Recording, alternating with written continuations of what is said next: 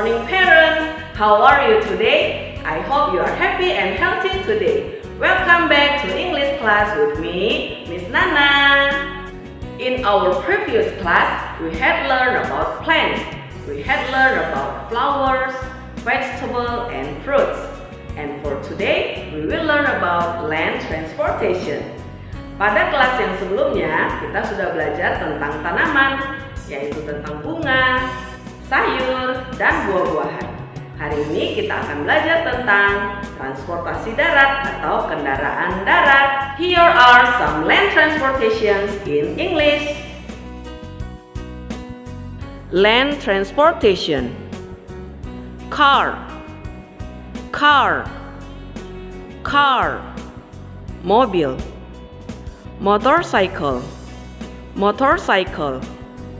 Motorcycle Sepeda motor bicycle bicycle bicycle sepeda bus bus bus bus train train train kereta api truck truck truck truk Well done students! Now I have a song about land transportation. Before we sing together, let's learn the lyrics first. Baik anak-anak, sekarang Miss punya sebuah lagu tentang kendaraan darat. Tetapi sebelum kita bernyanyi bersama, mari kita pelajari liriknya terlebih dahulu. My bicycle I want to ride my bicycle Bicycle, bicycle I want to ride my bicycle. Bicycle. My father wants to drive his car. Drive his car. Drive his car. My father wants to drive his car. Drive his car.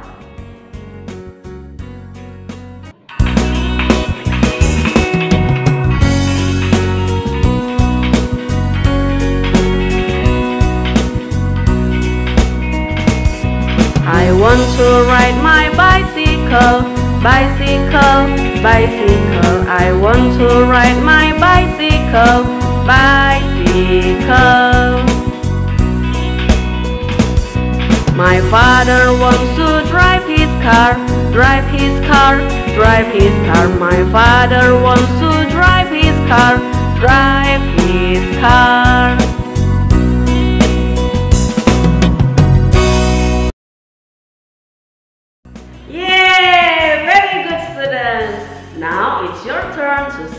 Song of My Bicycle. Record your video or voice note and send it to Ice Cream Application. Baik anak-anak, sekarang giliran anak-anak untuk menyanyikan lagu My Bicycle. Rekam video atau suara anak-anak lalu kirimkan ke aplikasi Ice Cream. Okay students, we have finished our English lesson for today. I hope you can understand the lesson easily. Thank you for joining my class today and I'll see you next week. Goodbye. Halo anak-anak semua, bagaimana belajar bahasa Inggris bersama Miss Nana? Pasti seru dan asik kan?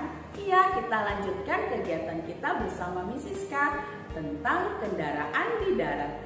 Anak-anak dengan mengenal kendaraan membantu anak untuk berperilaku tertib saat menggunakan kendaraan. Salah satu kendaraan yang kita pelajari hari ini yaitu mobil. Anak-anak, siapa yang pernah naik mobil?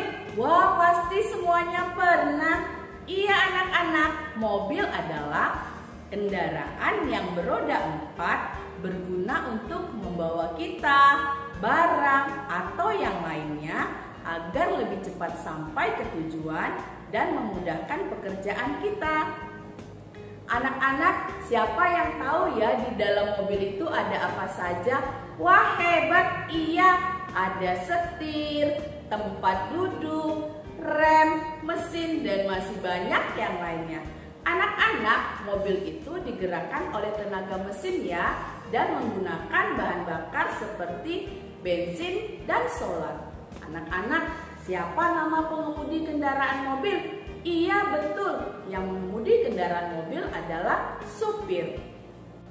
Anak-anak untuk mengemudikan mobil ada syaratnya loh. Yang pertama, kita harus berumur 17 tahun ke atas. Yang kedua, kita harus memiliki surat izin mengemudi atau SIM. Kalau untuk mengemudi kendaraan mobil, SIM yang digunakan adalah SIM A.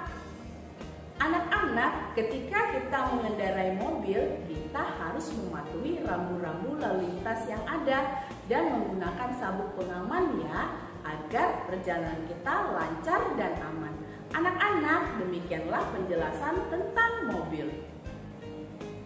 Anak-anak, kegiatan kita yang selanjutnya dari buku aktivitas halaman 31.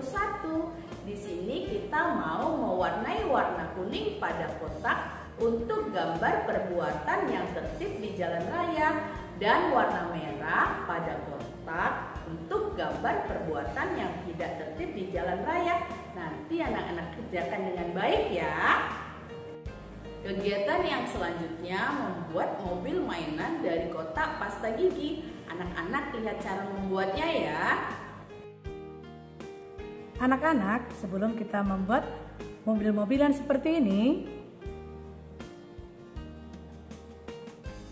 kita perlukan dulu bahan dan alat-alatnya ya anak. Yang pertama, kita gunakan tutup botol yang sudah kita beri lubang ya anak-anak sebanyak 4.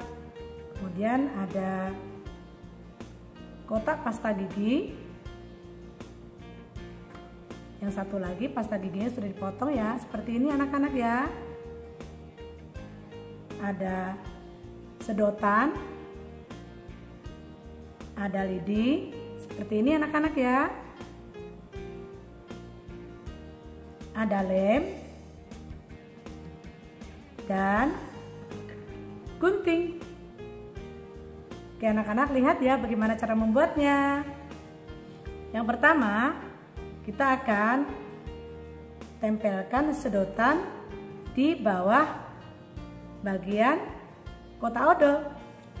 Kita beri lem ya anak-anak.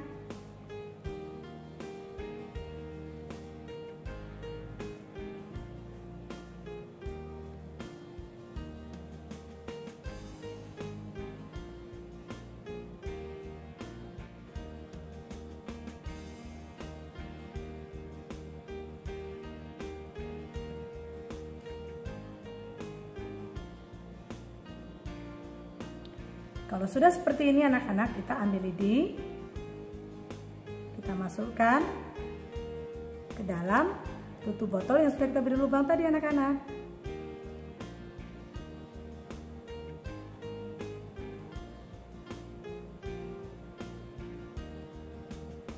Kita masukkan ke dalam sedotan ya anak-anak. Anak-anak, Guru sudah selesai menempel bagian rodanya. Seperti ini ya anak-anak. Sekarang kita akan lanjutkan langkah berikutnya. Kita akan menempel bagian kepala mobil.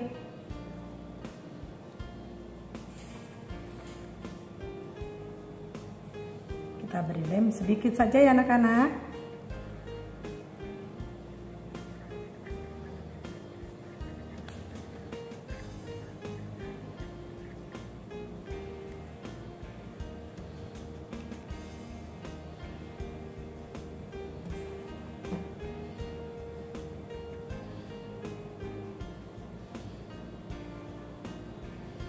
Anak-anak, Ibu Guru sudah selesai nempel bagian kepala mobil. Lalu kita lanjutkan dengan melengkapi lampu yang ada di depan dan di belakang ya anak-anak. Sini. Bulatan.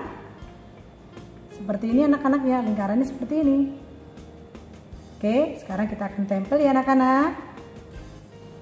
Anak-anak, untuk lampunya sudah Bu Guru tempel. Ini lampu bagian depan. Yang di sini lampu bagian belakang. Nah, anak-anak nanti lakukan di rumah bersama anggota keluarga ya, pasti lebih hebat lagi. Selamat belajar di rumah ya anak-anak. Yes, yes, yes. Kegiatan kita hari ini sudah selesai anak-anak. bagaimana perasaan anak-anak melakukan kegiatan kita hari ini? Wah, pasti semuanya senang. Iya, Misiska juga senang melakukan kegiatan. Anak-anak, kegiatan kita hari ini ada tiga. Yang pertama, anak-anak menyanyikan lagu Bicycle. Yang kedua, memberi warna kuning pada kotak gambar perbuatan yang tertib di jalan raya dan warna merah pada kotak gambar perbuatan yang tidak tertib di jalan raya. Dan yang ketiga, membuat mainan mobil-mobilan dari kotak pasta gigi. Anak-anak semua hasil kegiatannya dikirim dalam bentuk foto kolase lalu diupload ke aplikasi iScript. Dan untuk kegiatan bernyanyi lagu bahasa Inggris, anak-anak boleh kirim ke WhatsApp ibu guru masing-masing. Terima kasih anak-anak semuanya. Terima kasih buat papa dan mama yang selalu mendampingi anak-anak belajar dari rumah. Tetap jaga kesehatan. Sampai jumpa.